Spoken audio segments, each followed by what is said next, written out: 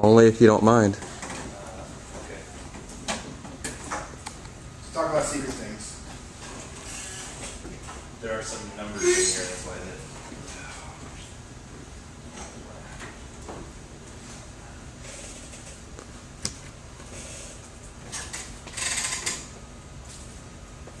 All right, so uh, today I wanted to talk about NoSQL, which is kind of a hot topic. And these days, you probably see a lot of news and things about it. And um, there's a lot of hype around NoSQL and a lot of different topics, so we'll just dive into it. Um, as far as topics for today, talk about what it actually means. People talk about NoSQL, this term. Uh, talk about it compared with traditional RDBMS systems. Um, walk through some more popular um, NoSQL systems.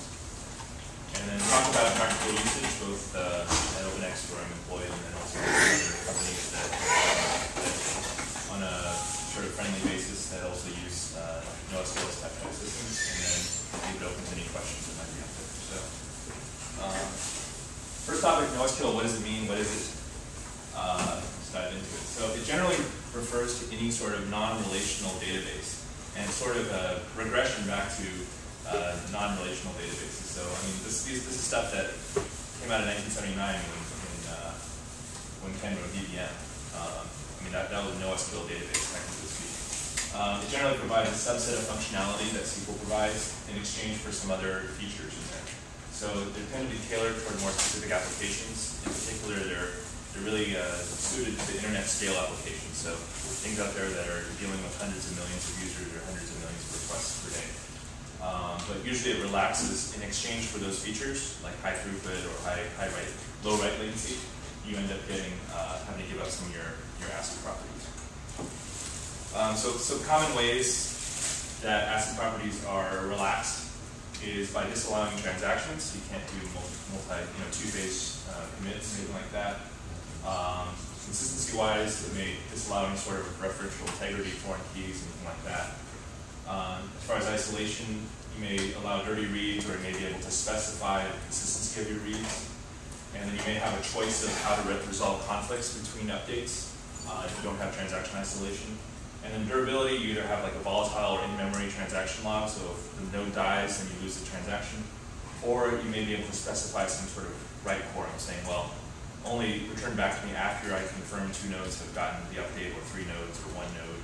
Uh, one does, zero doesn't really make sense, but you can specify, well, I don't want you to call me back until you've confirmed that three nodes have received uh, my update. So these are some of the things that you, you give up in exchange for some of the features that a NoSQL system might use. Um, on the lists, I don't know if any of you are on the, like Cassandra or other mailing lists. Uh, some people will say, well, NoSQL is like this anti-SQL, anti-MySQL kind of thing. And some people come back saying, well, it's not NoSQL, it's not only SQL.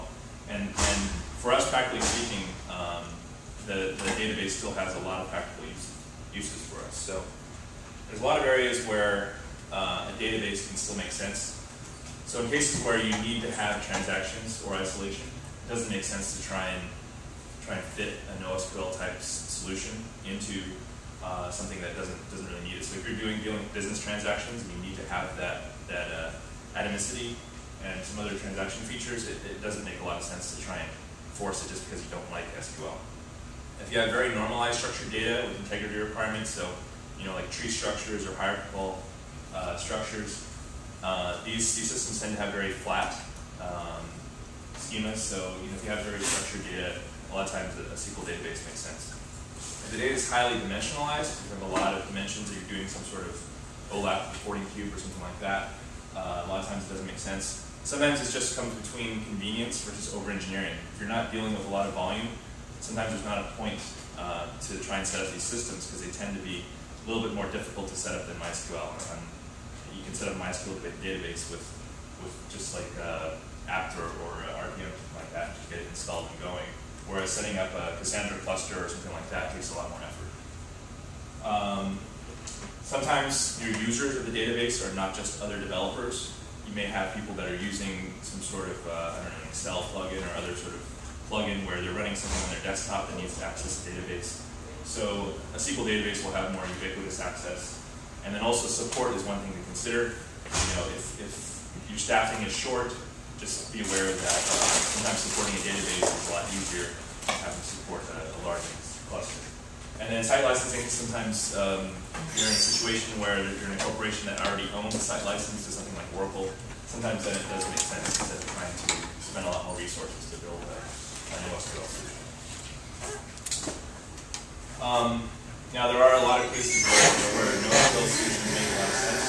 You have a massive data something in the petabytes, or data set width, something with you know thousands of columns, um, using a database can be a little bit unwieldy.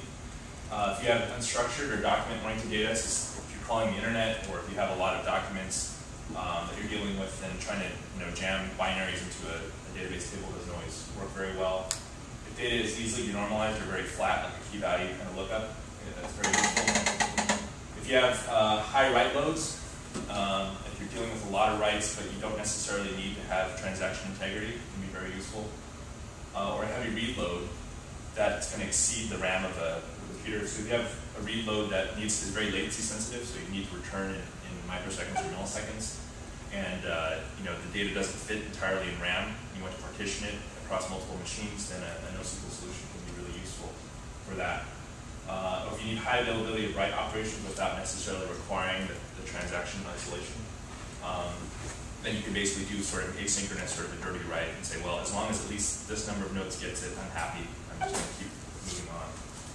Um, if you need the ability to control the quorum on a read or write, so you know, I want to read data and whatever node returns data first, I'll take it. You know, uh, whether it, whether or not it's stale, or I need a minimum of you know, two nodes to return to me before I will accept that data. You can specify that with a, lot of these uh, clients. And then sometimes cost restrictions. If you have, you know, presented with a particular business problem and they say, well, we need to do this, and you say, well, it's going to, if we use a, commercial solution or use something like a database, it's going to cost this, and a lot of times uh, a NoSQL uh, solution can help you there. Um, so next thing I'll do is walk through some of the more popular systems that are, uh, are used out there and then also talk a little bit about how they're used in their applications. So um, first one to cover is Cassandra. Uh, is a system that we use pretty extensively. It's a key value data store that provides eventual consistency. And when you write something, you can specify how many nodes you want to accept that data. And it's not guaranteed, it doesn't necessarily lock all the nodes until all the updates are completed. It lets you specify how many nodes you want to receive the update before it, it moves on. Uh, it allows some control over write and read consistency. You can say, well, you know, hey, return me this data, but I, I want to wait for two nodes to, to, to confirm it before I accept it. There's structured data for values using the column family and the columns and super columns. Um, it's highly available, so there's no single point of failure. Things are constructed in a in a dynamic sort of ring, which uh, they, the peers talk to uh, one another using a protocol called gossip. Uh, you have controls over replicas and their geometry, so you can say, well, I want, you know, to have two racks, and I want to replicate the data evenly between the two racks so that there's always a copy in one rack or the other. And this is a case where you have a data center, like in our, in our case, we have racks that have different power supplies. So if you lose a power supply, like a power strip, and you lose an entire rack, you don't want your service to go down. So you say, well, I want to make sure that I always have at least one replica each of these racks. So if, you know, people trip over cables, data center employees pull out things, that stuff happens. Um, you know, networks go down, what, what have you, um, so that your service can continue, no one really notices. Um, it's really useful in situations with high read and write volume of denormalized data, so key value things again. Um, and this is very similar to uh, a system called Dynamo uh, and another system called Voldemort, um, which you may have heard of. Uh, Tokyo Cabinet is uh, another key value store, sort of in the vein of, of DBM or GDBM, GDBM and uh, Berkeley DB. And it's more designed as a single machine database. Uh, it does give you some control over caches, trees, the sort of uh, storage format on the disk. Extremely high performance in reads and writes. It also has a very friendly license. For those of you who have tried to do something commercial with Berkeley DB, it can be a little bit un unfriendly sometimes. Uh, has a very friendly license. Um, there's actually a new version called Kyoto Cabinet that's coming out soon. Um, there's not really features, this isn't really designed as a distributed system, so not a lot of features for replication or distribution, redundancy, things like that, but it's great if you're just trying to do something on a single machine, and uh, if you're just doing like a local data store um, without the need for replication. Uh, another system out there is called Redis. This is also an in, this is an in-memory key value store. Uh, sort of similar to Memcached, but also allows some other features like snapshotting of data, so you can do like a point-in-time recovery. Uh, it supports master-slave replication. Um, structured data, very similar to Cassandra, just you know key and blob. Uh, you can have sort of columns in there. Uh, because it's all in memory, the reads and writes are all very fast, but it is volatile. So the data is, is gone. But if you're if you're doing applications where you have a very high read throughput, and you can deal with like a single master, lots of uh, lots of readers, uh, without strict data consistency, it can be very good. Uh, there's another one there called CouchDB. And this is a document-oriented data store. So what you do there is you store a JSON document using a unique document ID. So I'm going to put document 123 into this data store, and it's just this JSON blob with a bunch of, uh, of columns and, uh, and rows and, and you know, just sort of data structures in there. Uh, and then you can retrieve it later by that doc ID. Now, in the background, it also runs another uh, Erlang process, which is indexing that data so that you can run searches against that data. It does support ACID semantics, um, but it doesn't have like a strict uh, tabular structure like a SQL database might. Uh, and then it layers SQL-like semantics on top of that those JSON documents using these views. And these views are generated with this background uh, process. So that later, you once you store a document in there, you can query and basically search through your document store um, using SQL-like semantics. It's very, very close. Um, because of Erlang's core, it, it supports very heavy parallelism, and Erlang's you know, strength is concurrency. And so it's really great at that. And, and if you're storing, indexing, and replicating documents, it's, it's a really great data store. So if you're storing binaries like images, or you might just be storing large, I don't know, PDF files, you can you can just jam them into this thing, and then you can search search them, um, and then you can fetch them by ID, and you don't need to necessarily worry about maintaining uh, single node since it's, there's no real single point of failure. Uh, another system out there is, is Hive, which is part of the Hadoop project. This provides a SQL-like language on top of Hadoop's MapReduce system. Um, it inherits, by, by being part of Hadoop, it inherits a lot of the, the scaling and redundancy features of HDFS, uh, which is Hadoop's distributed file system um, that lets you work with very large data sets. Uh, it supports custom partitioning and indexing of data, so you can say, you know, I want to partition it by a customer ID or, a, you know, some, some other ID by name, and you, and you can do that to improve performance. It does support joins across data sets, which is one of the things that a lot of these uh, NoSQL systems don't really support is joins across multiple data sets. Uh, you can implement um, custom serializers that basically can give you any customized backing sort. It might be a text file or some proprietary binary format. And it's really useful for building data warehouses out of some structured data that you may have laying around, and then making it more accessible and queryable to uh, users that are used to SQL syntax and may not be you know, developers. Okay, so um, that was just sort of a, a, list of some of the more popular NoSQL systems out there. So what I wanted to go into now was talking about some examples and case studies, and some of it from our own experience and some of it from just talking with other, uh, other people out there. So uh, first is Cassandra. We use Cassandra um, to store data about users. Uh, we get hundreds of millions of unique user IDs per day, and uh, we're in the advertising business, so we store data about users, about their, you know, everyone gets an anonymous cookie, um, and we store information about what we know about that user. Sometimes it's from our clients saying, hey, you know, this user visited my client's website, I'm trying to advertise to people that have visited this website, so store this information about this user saying, hey, they visited, you know, uh, I don't know, ESPN.com, I want to show my ad when they go to other sites. So we store information on behalf of our clients We want to store some sort of information, whether it be behavioral or demographic or what have you. Um, and so we see hundreds of millions of unique users every day, and we're asked to store this data. So we have hundreds of Cassandra nodes that are basically receiving this data, um, and it is uh, sensitive to latency because the way we get this data is people dropping like uh, tracking pixels on sites. You may see like a one by one invisible GIF on sites and there may be some garbage appended to it. It's basically encoded information, telling some information about you, um, which we're paid to then try and find you when you visit other sites. So that encoded information comes to us and it says, hey, this user really likes basketball. Um, and so then we store it, but we don't want to hang publisher pages or, you know, someone opening up Firebug would say, hey, this thing's taking forever to load. Why is it, oh, this, this stupid OpenX pixels taking forever. So what we do is we basically uh, leverage the eventual consistency of the standard, saying, okay, well, as long as one node gets the update, we're going to do a best effort. If, we if the node happens to die in the, the, fraction of time between when we receive the update and when it gets flushed to all the other nodes, then that's fine, we can live with it because it's a best effort kind of service. Uh, it's also very sensitive to, to reads, latency sensitive for reads. And that's because on the flip side, when we're making the decision to serve an ad, we really have a, a slim time budget to work with, less than 100 milliseconds to decide which ad we're going to show. So when a, when a user comes in and, and we consider an ad for them, we look up their user ID, we see what are all the data, what is all the data that we have available for that user ID. We look at all the ads that are candidates for the system, and we say, okay, these people are targeting basketball users, so let's you know consider those ads.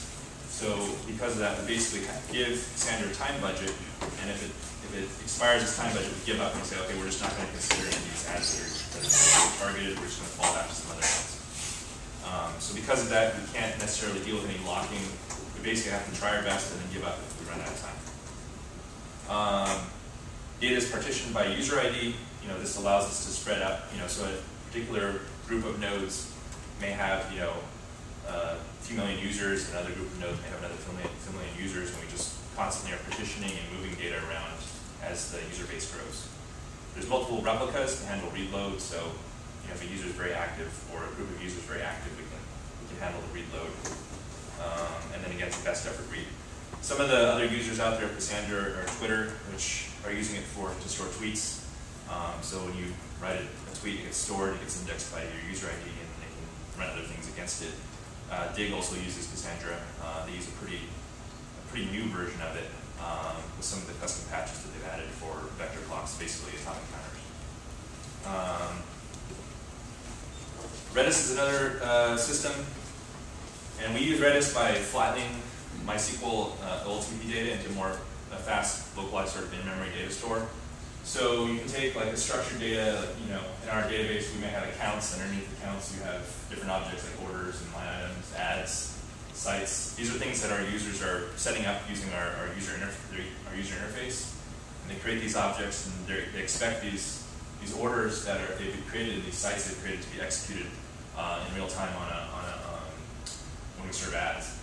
So what we do is we take this, we run some ETL scripts and, and have some, some messaging and basically generate a flattened structure of this where we basically collapse this tree and then just store things by a, an ID with some columns. So basically we take the unit ID as the key, we can store information about it, and we can roll up to the site ID and the account ID, and we basically store everything up the tree for that um, particular object. It does create a lot more rows, but because lookups uh, by the unit ID are basically over 1, um, the latency is very low, and that's it's important for us to optimize latency over, over storage.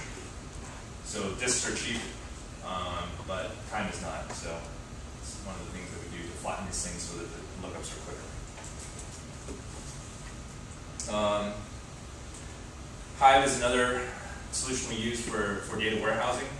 Uh, we have over, right now, about 300 or so terabytes of data online.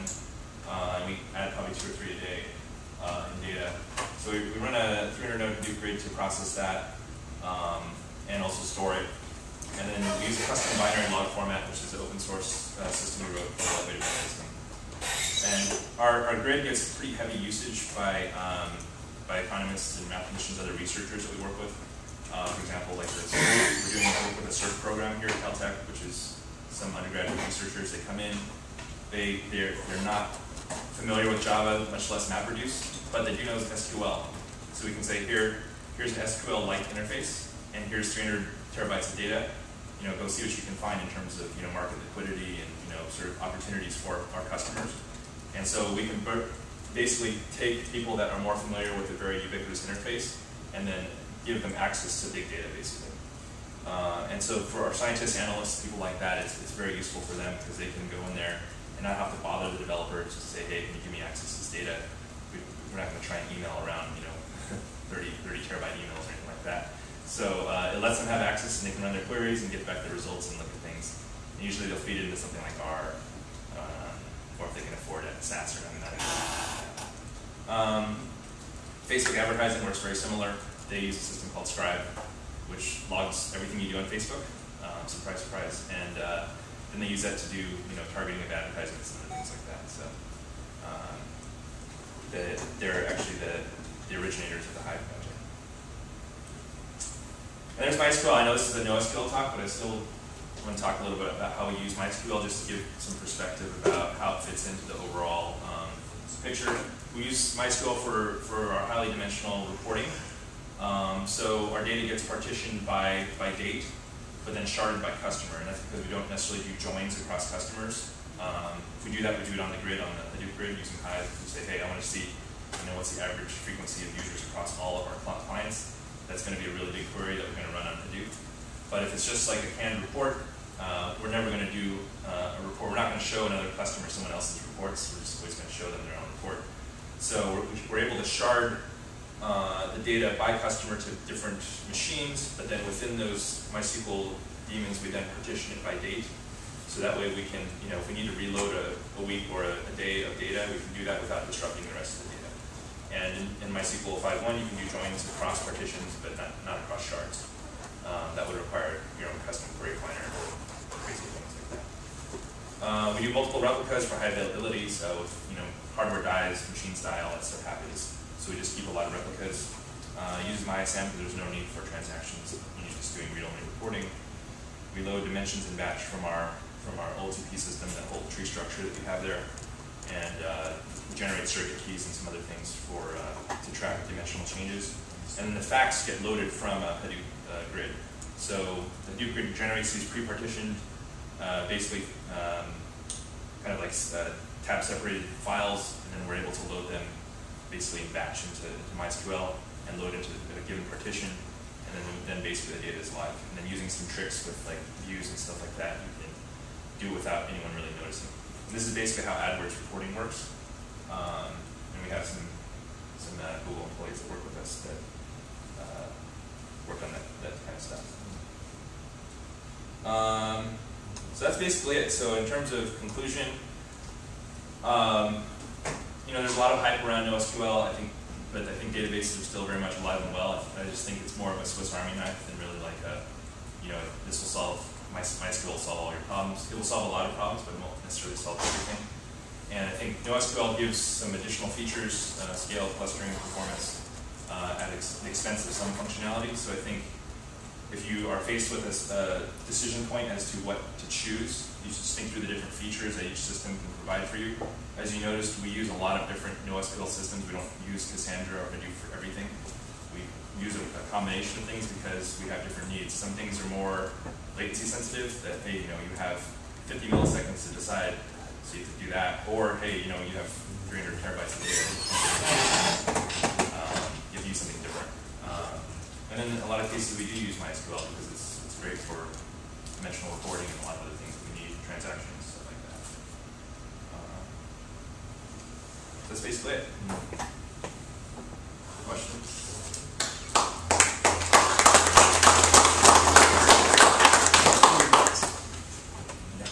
I understand you guys use uh, Amazon's run your uh, cluster. How has that experience been? Because one of the things that reading about Hadoop that uh, I forget who it was, but one of the contributors said in the early days was, if you want your data to be safe, you can't use the cloud. Um, so if I speak uh, freely, then I might, might, not be able to broadcast this, but uh, our uh, our journey with Amazon has been a long one. Uh, they're they're certainly a great partner of ours. We're probably one of the top ten largest users on the on the cloud right now with the the you know, the Hadoop grid and other stuff we run, we probably have thousands of nodes on the cloud. Um, they are, they have come a long way in terms of evolution, um, but it, you know, again, it's very much a shared service. So there's there's definitely performance concerns and some stability concerns. So one of the things that a lot of these distributed systems force you to do is to assume that nodes fail, because in Amazon EC2 they will fail, and, and they'll fail often. We probably lose any, um, a single digit percentage of our nodes every week maybe two or three percent just die and disappear. Sometimes they'll come back, but by then, you know, these these systems that are doing these pure sort of ring protocols really don't like it when machines turn off, come back, turn off, come back, because they try and move the data to some other nodes, and then say, oh, it came back, I'm going to move it back, and then it moves it back, and so you just get a lot of thrash uh, of, of things. Uh, as far as safety, um, you know, I don't know if putting something into a physical data center versus the cloud data center necessarily just as a cure-all for, for security. Obviously, security is a very deep topic. You know, uh, your own data center could get hacked. It's no different than hacking a cloud system. Um, you know, every node in EC2 gets a public IP. You can use IP tables to block you know things coming in just to make sure it's more of a private thing. Um, you can block if you use some automation tools like we use. You can block that node from other nodes in EC2 that might be trying to scrape reports or, or figure out you know. Um, Hadoop doesn't provide a lot of security itself. Um, if you can access the name node and a lot of data nodes, you can pretty much access the files on the grid. Uh, so you know, we tend to use a lot of like network security things, IP tables to on EC2 IP tables.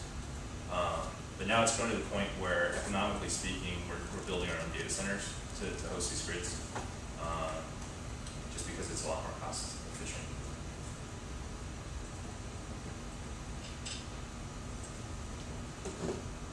Any more questions? Yeah. You had said that um, the NoSQL infrastructure is really good for single, or some of the solutions are good for single machines. Um, so does that mean that that'd be a good solution as opposed to like MySQL for like sto- storing like an entertainment, like an, like a home entertainment server where you could, you know, have all your music files and like your video files and like that? Um, yeah, there's, it, it depends on the nature of the data. Uh, if, again, if you're doing like a key value lookup, so take know, Tokyo cabinet, for example, um, the performance on that will be an order of magnitude faster than MySQL, just because you're losing a lot of the features that a relational database would give you in exchange for a much simpler data format. So you can get, you know, millions of writes a second on some of these systems on a, on a pretty beefy machine. Uh, if you're doing an embedded application, then sometimes that can make a big difference, like on a mobile device or a set-top box where you're limited to some small ARM processor or something like that. Um, and then, you know, but if you do need SQL, sometimes you can use something like SQLite, which is just as good, um, especially if you don't need to open up the database to the network, uh, and you're just doing something, you know, locally. Uh, sometimes that can work well. So it kind of depends. You just we tend to just take everything that could work and benchmark it, uh, and then say like, oh well, let's just compare the things. So like for Tokyo cabinet, that's one way that that's good is uh, if you're doing counters on a machine, you know, you need something and you need a lot of processes to, you know, to synchronize somehow with some sort of counter. Uh, then you can increment the counter and then read from it. And it doesn't have, you know, the locking and those sorts of things. Yeah. How many of the NoSQL um, libraries uh, allow you to have multiple keys? Um, very few of them, to be honest, because a lot of them are key value. Um, like Tokyo Cabinet, if you use like a B tree layout, you can have multiple keys. Um, but if you take like Cassandra, can't. Uh, Redis can't. Hadoop is not really a key value store, so you can put whatever you want in there. It's just a file system with MapReduce on top of it. Um, trying to think what else. Yeah, I mean, it kind of depends on the system, but a lot of them are sort of key value based, um, especially the sort of distributed hash table kind of things. They're, you know, they're basically rings, and the, the key space is what's used to map the data to the node, and they use a consistent hashing algorithm. So if you have any collisions in that space, then it tends to be pretty bad. So uh, allow uh, keys. Now, what people do sometimes is they have a surrogate key, and then they have like a in Cassandra they'll have a column family which has multiple values underneath that key, Oh, and then that's and then you can run um, queries against th those those columns, so you can still access the data, um, but the actual key itself can't be. Um, any particular debugging tricks or tools that uh, you use a lot in, in this kind of environment? Um, And for instance, like you were saying kind of specifically, kind of goal cycling time and stuff like that, how do you time that sort of stuff? Um, Maybe the performance aspect. Yeah, for timing, um, we, we created an open source library called MonDemand, which lets you fire events, I think Jeremy um, which lets you fire events and basically instrument the calls. So we know like, hey, how long reads, reads and writes take. Um, so you instrument the, because it's open source, you can download it, you can patch it, and you can have it fire events. Um, and these are based on UDP packets that contain timing information and sort of instruments your code, and then you have these listeners which figure out like how long these things take. Um, and then uh, we use like a, Cassandra has a JMX console, so they run little daemons on each of the Cassandra nodes, and those things fire events, which basically say, hey, here's how much heap I'm using, here's how much my read latency is, average read latency, and we monitor those things. Um, you know, when, when memory starts to creep up, or you know, read volume creeps up, then we add more nodes, basically. And things start to rebalance. What was the name of the open source library? For monitoring, Yeah. uh, MonDemand, Monument. yeah. It's on SourceForge. Yeah, Jeremy. I was curious if you could give a quick comparison of Cassandra and Voldemort, and is Dynamo available, or is that only I At believe, Amazon. you know, never, Dynamo was written at PowerSet, which then got swept up by Microsoft, and the project kind of died Okay. um, after that. Um, confusing it with something else? yeah, PowerSet got, so Dynamo, there's, there's Apache's, okay, you know what, I'm wrong. Uh, uh, Amazon wrote a system called Dynamo, and that's what powers, uh, S3 and some of their old, uh, their AWS systems, basically. Then PowerSet wrote a thing called Dynomite, Okay. uh, which was done in Erlang. And PowerSet was like a natural language search engine company. It got swept up by Bing or Microsoft, and, and then the the project kind of got stale. Um, and then Voldemort was built at LinkedIn, and it's very similar to Cassandra. There's some differences, but to be honest, like I've only really worked heavily with Cassandra. We we went to a NoSQL meetup about two years ago, and uh, sort of went through some of these different systems, and we ended up using Cassandra partially because um, there's a lot of uh, other users out there so, to work with, and so um, we interface with a lot of the, the other developers. Yeah, that's, that's all I've seen is that Cassandra sort of got the early momentum and everything I've seen says, well, Voldemort is like Cassandra but doesn't have the, the community behind it. And it's Yeah. sort of self-fulfilling. Yeah, it's, it's interesting how these things happen. Um, so it, Cassandra's original version came out of Facebook, so obviously they put a lot of load behind it. Um, and then at some of the NoSQL meetups, um, there's folks from, so the ones we know about, like Digg, we've worked with those guys. Twitter uses it for tweets. Um, Simple Geo uses it for geolocation data. Um, Rackspace was a big investor in it, I'm not really sure what they're using it for. Uh, so there's a lot of sort of momentum in people in Cassandra, and, and uh, a lot easier to get help when you're like, hey, this thing's not working. You write the list, and someone actually is replying. Uh, Voldemort, I think LinkedIn is probably their main user. I don't know of any other major heavy users. Um, and they've actually considered moving to Cassandra,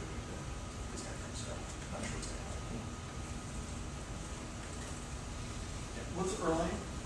Erlang is a, a language that uh, is very good at concurrency. So it's a functional language that came out of Ericsson. Uh, it's used to power their telecom switches.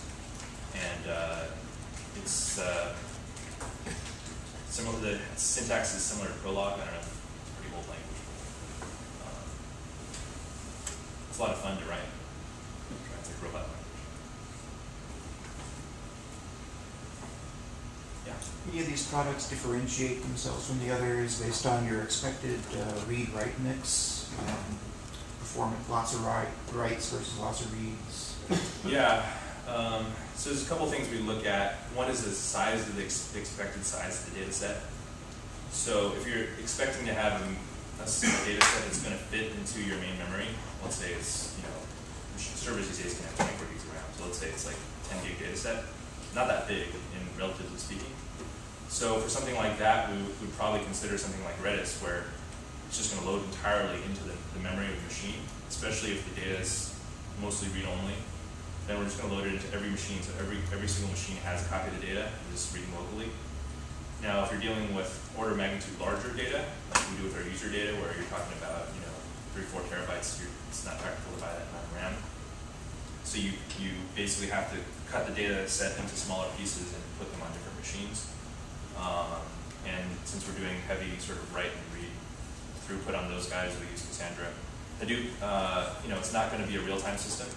It's gonna be more of a batch kind of offline system, but if you're dealing with another order of magnitude larger, like you're dealing with terabit, terabytes or petabytes of data, then you're gonna wanna use, uh, like a Hadoop because just doing things in parallels is gonna be a lot faster than trying to run a Perl script on that. It's gonna take forever. Um, trying to think what other things. If you're doing something that's constrained to one box, you might use a more embedded system. Um, yeah, it just kind of depends. Do they have different rules about, I'm not that familiar with key stores, do they have different rules about, uh, the um, granularity of the locking, uh, in, in doing reads and writes? Yeah, a lot of them don't do much locking. Um, just because they're they're trying to optimize a sort of different dimension, um, and they, they, they relax a lot of the, the atomicity. So there's no there's no two phase commit, for example. It's just like you write it, it's there. You know, as soon as I return, I've got it. Um, some of them let you control conflict resolution algorithms. So if I have a conflict, take the latest. If I have a conflict, you know, do something else, log something, give up. You know, uh, you get some choice there. Uh, again, with the the read and write quorums, you can specify how many nodes in a cluster you want to receive the update before it returns back to you.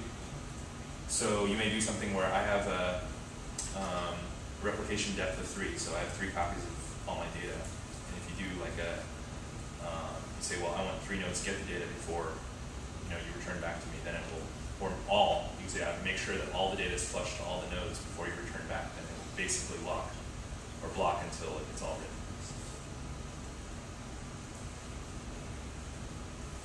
What's the largest record size that you typically be using? Record size? Uh, for like a user system or like in general using? For your production. Um, so we, we generate different kinds of records. We have records that are relevant to users, like how much data we store for a user. That could be probably in the, still in the kilobytes, like three, four hundred K, but times a hundred million users, being a lot of data. Um, then you get information about uh, about inventory orders, so information about you know ads and stuff like that, about targeting, like that. Also tends to be pretty small. And there's information about ads that have been viewed or interacted with. That also tends to be you know 10, 20 k at most. Um, so we deal in, in advertising, we deal with a lot of microtransactions because every time someone uses a page uses an ad, there's data generated. We don't deal with necessarily large transactions. Um, and then in aggregate, they end up being big. So you add up, you know, a whole billion of the page views and deal.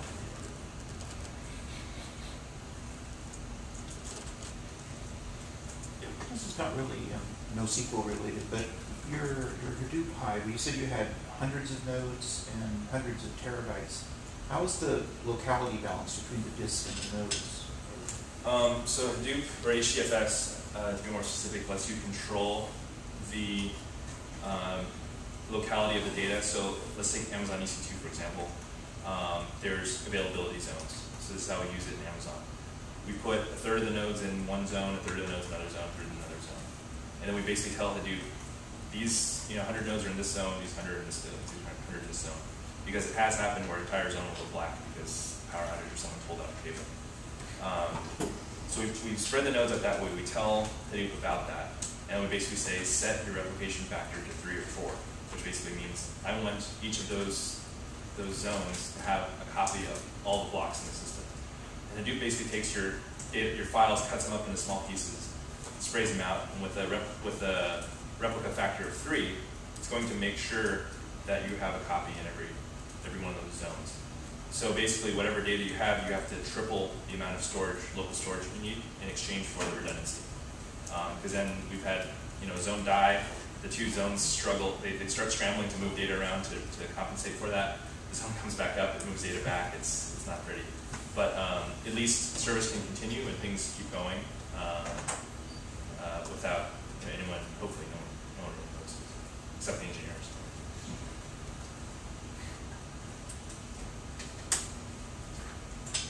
Questions? Yeah. Since this is a Linux user group, I guess it's obligatory.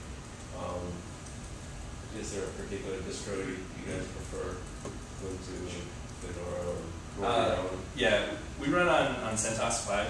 Um, it's partial, it's old. Uh, we're, we're anxiously awaiting CentOS six or even L six. Um, but it, uh, it's pretty commercial, commercially friendly. A lot of our developers use Ubuntu on the desktop or, um, but as far as like production deployments, old and stable is, is fine. We don't really need bleeding edge stuff. So for this purpose, at least for NoSQL, you don't really need to do much kernel tuning or anything like that.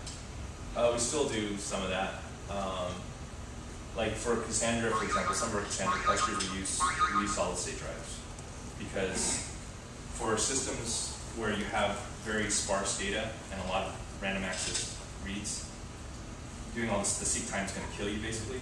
And with SSD, you get next to zero seek time. So all those random access writes, you know, won't work really well. So we do a lot of benchmarking, uh, and then there's there's kernel parameters. We want to do like kernel. We're, we're a small company. We don't have the resources to do actual kernel hacking, but we do you know tuning of, of various things. So the SSD, Software side. the SSDs aren't a EC3, right? They're- No, no. Yeah. So it's of what sort of um, process are you using? the? Uh, on our own data center, or in, Yeah, most of the time we just use the ext3. just the. We're not. Uh, a lot of it's being small. You don't have time to play with ZFS or other file systems. Um, so yeah, most of the time we're just running the ext3. Which, uh, JV, are you guys just using the Oracle Sun JVMs? Yeah, whatever the latest uh, JDK six is. Uh, we tend to be a little slow on updating it, just because the most recent updates tend to be a lot of garbage collection changes, and that changes when you're doing a lot of memory churning. It changes a lot of things, so pretty careful to uh, upgrade the JDK very carefully because your heap your heap sort of graphs change JDK. So, um, not as bad as like JDK one three or something like that. Uh, it's still pretty dramatic.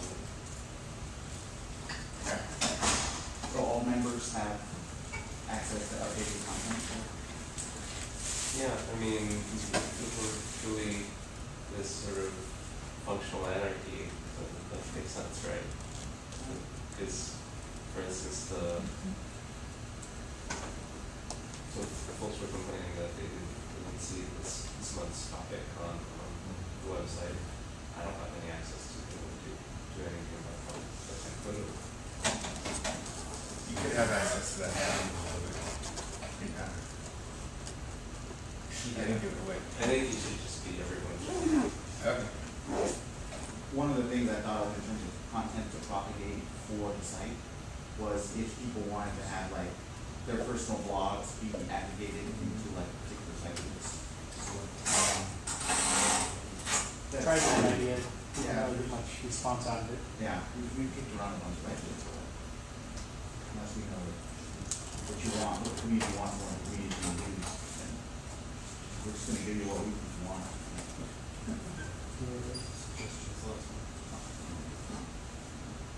Did you keep track of those? I didn't. Forget now. It's not good. I'm getting old. Yeah, somebody. Somebody wrote them down. Who wrote them down last one? Diane did, Oh, she did? but she's out of the country, so. So what's next month's topic? It's a good question, Tom. We, we got that one guy who wants to talk about it, Aros, the Amiga OS, um, development or whatever. I can get the, uh, the Fedora guy offered to talk about Fedora thirteen at some point. The what? What did you say? Fedora thirteen, Oh, Fedora. new one. I thought you said floor thirteen. Yeah. Interested in that? Seem to have that every time they come up with a new one. Yeah, we'll, get- we'll get that offer every time. I'm not a member here, but, um, I'm sure you are. You showed up more than Yeah. once, you remember. actually, this is my second time, so. Yeah.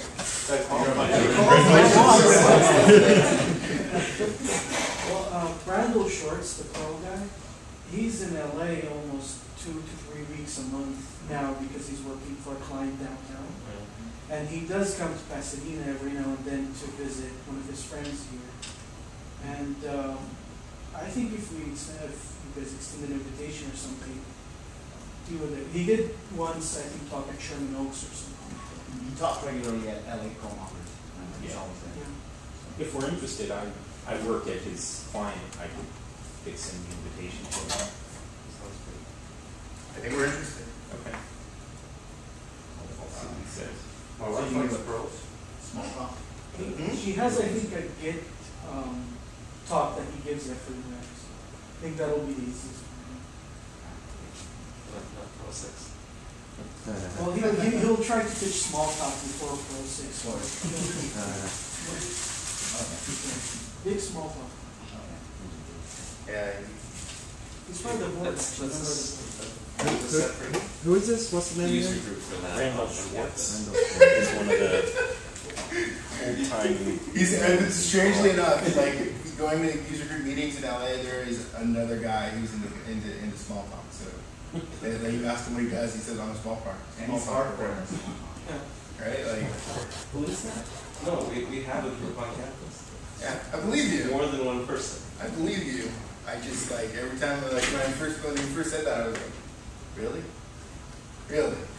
What are people using Smalltalk for? So They're using it Squeak, it's uh, like the web framework for Smalltalk. Yeah, he gave a talk at scale on that. It's, Actually, There's a Floss Weekly, um, podcast on Squeak. Is that, uh, this week is that, tweeting? Yeah, it's on Twitter too. now. Actually, Randal Schwartz is that host of the podcast. All right. I got some leads. I mean, now people just need to follow up on them. Uh, as, as I always say, unfortunately, so people stop saying, saying things. I'm going to try harder not to say it.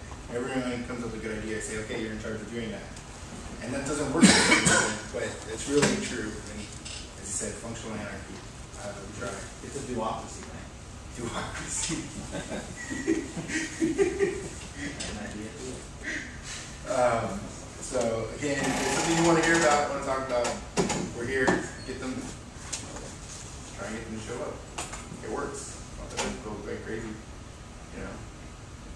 Big games occasionally, and then they murder people and bad things happen. Um, uh, Can I ask another question, Michael? Did you guys have any particular wrong turns while implementing these solutions, any real uh, hard learned lessons? Um, couple, couple times we do a little, kind of like over engineering sometimes. You get a little under, underwhelmed with the volume, so you tend to spend a lot of effort on building this like system that scales to petabytes of data, and you get like, you know, and the business says, oh, we're gonna have five thousand customers, you know, like one or two. And then, um, you know, you get like a couple megabytes of data, it's like, I, I spent a lot of time doing a lot of work for, for not a lot of uh, benefit. So, um, we, we use a pretty agile process, that we do like two-week scrums and stuff like that, so what we tend to do uh, to react to that is kind of engineer kind of for now, and then refactor go. Um, so sometimes you don't need to build The cost of failure is generally not that high. Yeah, because especially if you're working on, you know, two-week sort of cycles, if you fail in the two-week cycle, it's not too bad, you can react. Um, and then do something else, you know, and, and it gives you some time to, to test and prototype things and benchmark things. And then, um, then you decide from there, you know, what to do, because sometimes you have to fail a few areas to decide like the right thing to do. And a lot of it's trying to get the other side of the company to buy into that sort of process, like, hey, we need a month to do it because we need two weeks to mess around, and then we're not just kind of goofing around, we're trying to test things. And then in the last two weeks, we can figure out what we can actually do. What percentage of your two-week cycles hit their targets in the two weeks? Um, like half. yeah, it's, it's And then you generally just push it into the next two weeks, or do you have? yeah, we, you know, it's, it's, it's not really an exact figure, but we, everything is prioritized, so the product managers prioritize things, we basically just start from the top and work down. To get down as far as you can. So when I say fifty percent, it's like, well, usually at the beginning of the sprint, I'll draw a line saying, I think this is about where we're gonna finish. So I guess I think I'm very accurate about it, but, um, you know, we get through some stuff, and then there's some stuff left over, and we basically do the prioritization all over again. So sometimes there's things that are persistently there every month, because it's just like there's new stuff comes up, and so it ends up there, and it's like, well, I still wanna do this, but only if we get time. Um, so it's just a constant juggling game. Yeah, it's, you know, it, it's disorienting some people, because like, well, why don't you plan? It's like, well, we plan every two weeks, you know, that's all we do. Maybe two whole weeks for now. It's not one. I don't think I can handle one, it's many meetings. It does make your head want to explode, right? Um, Uh, anyone else here have a Caltech address? If you haven't already, please get an account so we can get the, uh, Caltech cattle, uh, calendar updated. I sent the submission for this, for tonight's meeting last week. and Didn't get published until today or this afternoon. So it'd be good to have some redundancies, so that soon we know there's, well, the topic's gonna be big. and Someone else can publish it as soon as possible. I was on vacation and. no idea about this. I think, Ray, you had, Yeah, I- did you ever set up, get an account for them? It might be,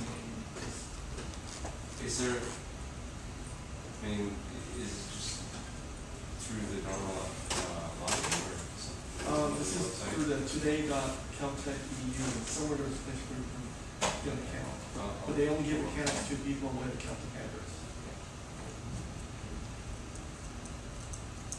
Would an alumni address work? If it's, I, and I, if it's got Caltech, then I think they would take it. I'll take a look. All right, um, I had an announcement. okay.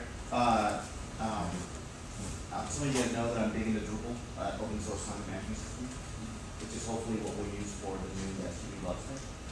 And, uh, Drupal camp, uh, the LA Drupal group here is one of the largest in the world and very active, and they, we actually put on the largest camp in the world.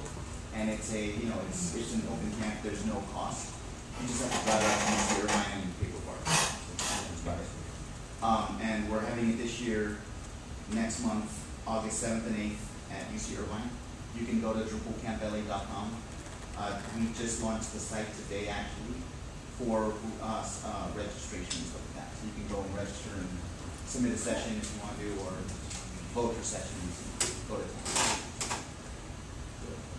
Do you have any meetings? Like this, meetings? We actually, uh, what we're trying to do is create a, a Drupal meetup at least once a week a month here in LA. Oh, it's not, it's not yet. No, no, no, yeah, uh, what's going on? yeah, the LA Drupal group's been around for a few, like four years. Oh, So- not? Yeah, so we have one every month, the last Tuesday of the month, in, um, at Costest in Santa Monica. We just started one a couple months ago that I'm co-organizing near downtown, we're actually holding it right now in Echo Park, but we might be moving it one- for, to a bigger venue in downtown. So if you wanna find out any of the meetups or anything like that, all you do is go to groups.drupal.org slash LA slash events, and you can see it. And there, I mean, I was in Santa Barbara yesterday. You should put some of those links on the website. Yeah, exactly. I'll, I'll, I'll put some of the links that I talked about tonight on the, on the list. Any other announcements? General question. Um, What are people doing for archiving, publishing their pictures? Are you going through an off-site website? I've got like several desktop clients at home with a single file server. I think every time I buy- buy a new laptop or computer, everything just gets copied over, and the old one is the state and time as it was then. You want something online, you said? Not just online, but what I want to be able to do is, you know, I started playing with Picasa. I really like the ability to, for it to recognize pictures. But I don't know, is all the, all the metadata for the pictures and stuff, for face recognition, is that stored with each individual directory or some machine on each individual desktop? So if I then pop up a browser on another desktop in the house, is it gonna have the same face information? Or do I have to somehow manually replicated or what? Use something like F-Spot? That's a open source one, right? But will it uh, easily let me share the data on the file server on my clients? Oh, I don't know. I've never used it. Ubuntu doesn't like it anymore, apparently. Oh, yeah, yeah. Ubuntu changed their default image program to something else that's not .NET or mono-based, whatever. Ubuntu's getting rid of all their mono-based apps for the next release as the default. And I got rid of What Yeah, do you use because as that's too complicated. And you use. What, you drop? it on a Yeah. file server at home. It's not a default Find install.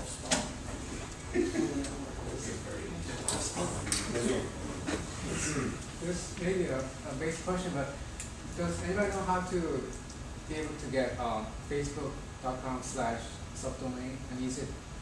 And you have to pay or something, or how does that work? You need a- Besides, I checked the Facebook the first time a few days ago, and I thought if you, It's in your account profile. I mean, It's in your account profile. You can, I'm gonna find it. I mean, so you, anybody can get the subdomain they want?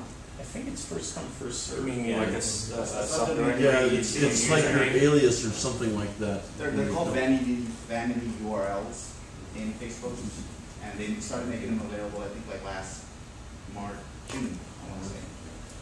But it's basically like you could, you could have facebook.com backslash Mike Parker, so, yeah, basically. As long as no one else is. So it's in the menu, I couldn't find it, I tried so. Whatever you So- create, it'll actually, if you create your user account, it'll actually create that as your vanity URL if it's not taken away.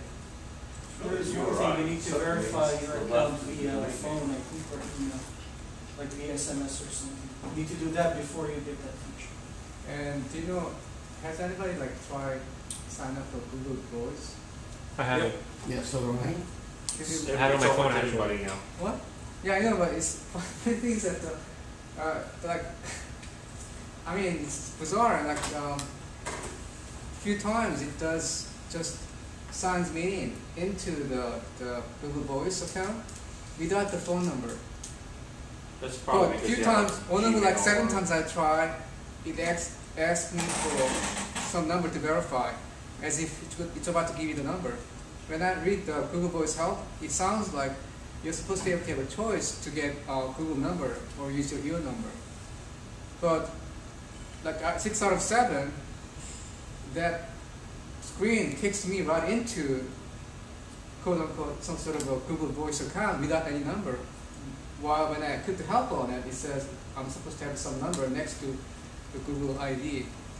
Uh, It's very strange. I, I tried many different computer and it seems to be random. I don't, I don't know, but a Spanish telemarketer called me once, and I got this text message that was impossible to read because it just didn't translate text to speech. it, it does have issues with, with uh, accents. so you didn't have a problem with that. Does anyone use Google Prediction? The, and they have the wrong name, but they have a prediction library. Has anyone done any data mining with that or any other libraries? You should do it and give us a talk. Democracy. Duocracy. I like that. Maybe we should change it to duocracy. You do it, you try to do it.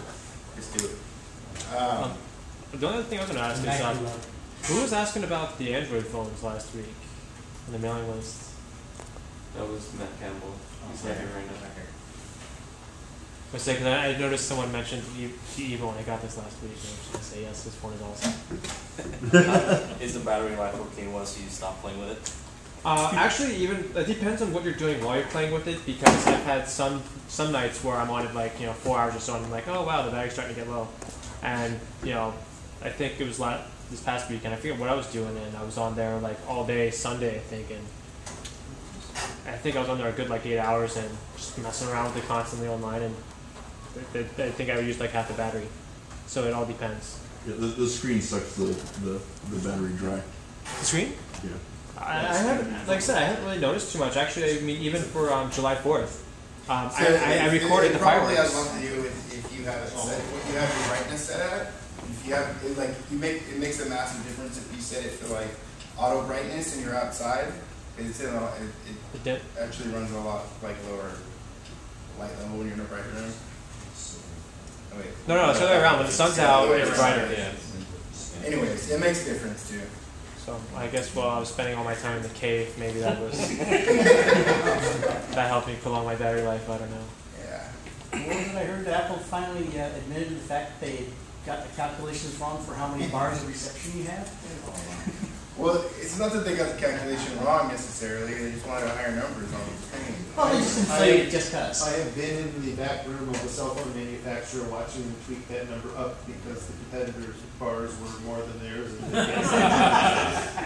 Yeah, that is a big factor. Um, well, somebody pointed out, like, right after that whole thing, when people figured out that they, they messed up their antenna design, there were three, like, uh, antenna design engineer positions open at Apple. so either somebody got fired or uh, they said, maybe we should spend more time on that. Um, so, What I was gonna say is, um, I I heard they're gonna be releasing a software patch soon for uh, what someone's iPhone actually lit on fire from the USB port. They have a patch for that. They have an app for that, huh? No, not yet, but they're working on it. They're working on it. But yeah, I think I was like a couple days ago. I, I forget what I read it on. Um, like the bottom connector. Somehow those. The, all they used was the i the iPhone connector to USB cable.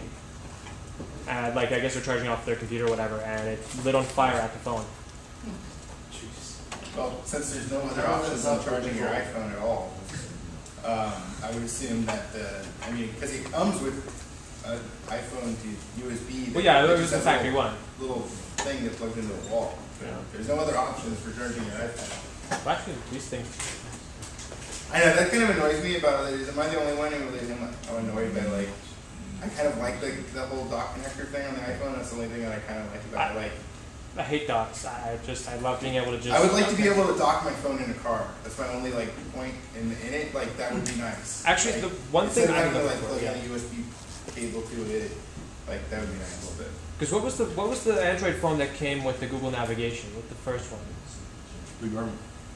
Hmm? Or not, do- no, no, no. Probably the Nexus One. I mean, I have it on my phone Yeah, now. line Because touch has. It came with it came with magnetic car mounts that would you know as soon as you docked your phone onto it, it would open up navigation, turn it into GPS mode. But what I've always wanted is I wished all the phones did that. But on, beyond that, is that they managed to integrate that touchstone technology into it. The Droid was the first one, I think, and it had, came with a dock actually. So you could buy dock. Well, this thing has it because of the HDMI. Yeah, it's got HDMI. Wow. So you like that? If you put that actually, and you, what's the video actually look like on HDTV? I, I haven't bothered with it, but I get the most oohs and ahs whenever I had to do this. It's just like, oh yeah, well mine's got a kickstand.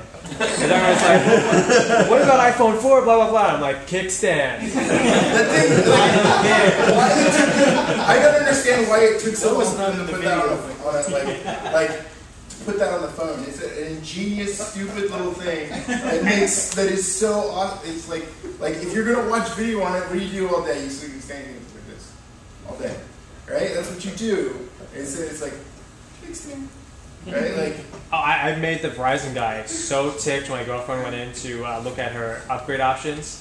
And he's like, "Oh, so what are you doing with your phone?" And I'm like, "I just got this a couple days ago, and it's far superior to every single phone in here." You know, There's the there's another. and they're like, "Oh yeah, prove it, kickstand." There's another HTC phone that has a kickstand, right? Like it's. Like I haven't seen them. Well, actually. Maybe planned, but I haven't seen them yet. Actually, out. I think there's another one that does. I mean, I'm sure they've got a patent for Because this it's- somehow. So. I, they don't, because I, they don't have a patent on it. Well, it's not entirely a phone, but like, I bought this, uh, Android tablet, and it's got a kickstand, so. Well, that, that's more practical. I mean, it's big. That looks like an etch a sketch. Actually, they have an app for that. I noticed. You gotta shake it, What? twist it, is it big enough to be usable? What's your? I have not played with it enough. I left it in my bag at work for a a week and totally forgot about it, and I just realized, remembered that it was in my bag. Because I left my bag at work for a week. So, One thing though is um. what? What is that? Uh, it's the Archos seven internet tablet. So I it like doesn't have, it's like got eight gigs on board and a mini SD slot. Um, Which version is on which So it's like an iPad only cool. one, some five or six, I'm not sure. It- It's, it's very unclear about that and it is very non-specific and it, all it has is a firmware version. So it has their build version and it, it kind of like doesn't expose what the Android version is. The only other complaint I had was it doesn't charge off USB, which is like ridiculous. What the hell? Did one five do the different screen sizes? What? Did one, uh, did one five handle the- that's the screen sizes? Uh, what? See, the thing is, Android can handle anything because it's open source. So you can. Yeah, yeah, so yeah, the yeah, device yeah. manufacturer can like pretty much like one five didn't support CDMA. I have a CDMA phone that came with one five, so it's it's perfectly possible to do things because it is open source. You have they actually have the entire stack. They can build it. They can they can put in what they want. The device manufacturer can put in what they want, um, and the battery. Another announcement. DEF CON is July twenty-eighth, uh, twenty-ninth through August first. I say it should go. And isn't, aren't they having like an Amazon AWS conference in LA? July twentieth, I just can't remember. I know it's being hosted at Sofitel on the website, but I can't remember the URL of who's putting it together. I'm assuming Amazon. I heard about that. And they're still taking submissions for this time. Again. Cool. Well, I would say very fundamental. I was just gonna give you the heads up, uh, I submitted my article to Linux Journal on Braddock's, Braddock's method, on Braddock's eight-bit computer. And I included a little plug link slash to sgvlug.org. So if your box blows up, you guys don't wanna get You're gonna get slashed on I, it's, I, I don't think it'll blow up the, I don't think it, my DSL line, I may not be able to use my DSL and it may make me slightly annoying, but You would be a program guy. What? What? Somebody would be a program guy. Oh. That, that could definitely, that, looking at my program guide will definitely blow up the box. Uh, because, yeah, that's not optimized very well. I always look at that and go, they did not do a good job of this. I think it got way too much data in this database or it's not indexed in some stupid way. I don't know if it was just because of my work DNS, but SGB, uh, com didn't resolve, but, or of course was just fine. I don't know if we were doing oh, com or. We don't own com. Okay. How we did. My bad. Oh, it was available, right? What? a discussion- wasn't there a Oh, we did discussion have it available? It was coming available, or was it? We own net and org. Yes. I don't know about com unless somebody bought it, but I don't know. That was my mistake, I guess I should have trained that. Now, truthfully, uh, it was offline a couple of times because uh, this month because my happened to be twice in a row, so it was kind of a, you know my UPS had died, and so it didn't. I, my router, did, my OpenWRT router, did not have UPS, and it has a nice feature that if it can't boot, it goes back to factory defaults. But if power fails and then comes back and fails again very quickly, it can that can look like that can look like uh, it was unable to boot. Um, so I lost all the settings twice to the, and then there was a weekend when I ordered a new router. When I ordered a new router and then was like configuring a new router, completely new version of stuff that worked completely differently. So uh, there was some off, there was some offline time. A couple of you guys emailed me, "Hey, uh, things aren't resolving." Things it broken. Um, should be better now. Which route did you go with? Um, uh, it was a Buffalo one. It was a pretty cool router. It was Well, like- another one, the DD, DDWRT ones. What? Another one that supports DDWRT, obviously. Yeah, um, it, it's pretty cool because you know it's got gigabit ports and and well, it does a lot more stuff than my old router. Has 64 megs of RAM and 32 megs of storage. It's pretty. Yeah, that's what I was looking at. There's a Netgear that does all that too. It's just I don't really feel like spending 130 bucks right now. Say, uh, What do you think Verizon about has their that? own name branded router now for twenty dollars. It's a D-Link, if I remember right. It's actually a rebranded D-Link. Yeah. But, but what's funny when is you, when it's you open actually the box, there's a, a GPL statement in the box. yeah. That's cool. Actually, I think they're supported by DD, DDWRT. Maybe one of these times, Because of that. one of you guys can talk about commercial routers. They have a lot of extra features these days that you just don't normally have with commercial, on the consumer side. Commercial routers. Yeah. Um, it would be interesting to hear about the, the features on the commercial routers. The load balancing and the, the other things that, uh, We'll get Solomon in here. Um, yeah, should talk about that. Bureaucracy though, and I've been doing way too much for work, so doing stuff for this is. Just as a check, how far in advance are the uh, FTP load domains paid for? It's a good question. Uh, Madi owns them, and pays for them, so I'm not sure. Uh, it was, I mean, these days it's cheap. He has a bunch. So, I. Um, They reduced the years though, the amount of years that you can have it for. I think they, like three years now. You can register them for. It used to be like ten, fifteen years. Okay. Well, some some of them are actually increasing. Like .com is slated to have an increase. In price or in how long you can register? No, in price. Yeah, he, he was talking about how long you can Right. register in advance. Well, he said they were cheap now, but they're Oh, yeah. they're getting less cheap. Yeah. Yeah, because I think I pay like two bucks a year.